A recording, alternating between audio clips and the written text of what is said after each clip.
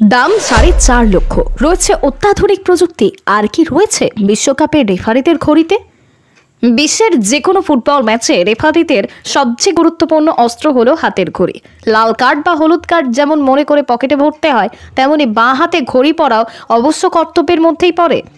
আগেকার দিনে রেফারিদের ঘড়ি পড়তে হতো শুধু সময় দেখার জন্য। কালক্রমে এখন সেই ঘড়ির কাজ অনেক বদলে গিয়েছে। প্রযুক্তিগতভাবে অনেকটাই উন্নত হয়ে উঠেছে রেফারিদের ঘড়ি। বিশ্বকাপে যারা রেফারিং করছেন, তাদের হাতে কি ঘড়ি থাকে? তার মধ্যে প্রযুক্তি বাকি রয়েছে? জানাচ্ছেন আনন্দবাজার অনলাইন। এবারের বিশ্বকাপে মোট একশো উনত্রিশ জন ম্যাচ পরিচালক রয়েছে। এর মধ্যে ছত্রিশ জন রেফারি উনসত্তর জন সহকারী রেফারি, চব্বিশ জন ভার রেফারি।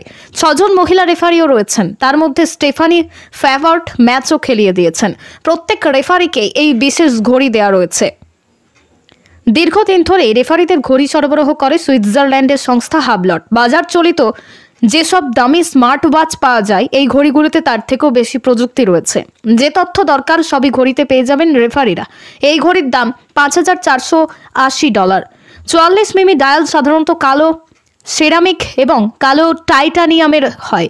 স্ট্র্যাপে রয়েছে কাতারের পতাকা। তবে কোনো রেফারি চাইলে অংশগ্রহণকারী বত্রিশটি দেশের যে কোনো একটি পতাকা আঁকতে পারেন। ঘড়িতে রয়েছে বিভিন্ন চিপ, যার মধ্যে তথ্য পাঠানো হয়ে থাকে প্রতি মুহূর্তে।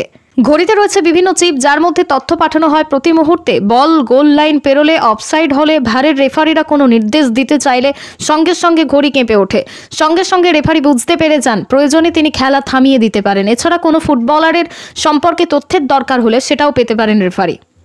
বিশ্বকাপের রেফারিদের জন্য এই ঘড়ি উপহার দেওয়া হচ্ছে। কাতারে আসা ভিভিআইপি অতিথিদেরও। মোট হাজারটি ঘড়ি তৈরি করা হয়েছে। প্রাক্তন footballer Luis Figo Marcel Desailly, Kylian M বাপেরা এই ঘড়ি পেয়েছেন। সাধারণ মানুষের জন্য এখনও বাজারে আনা হয়নি এই ঘড়ি।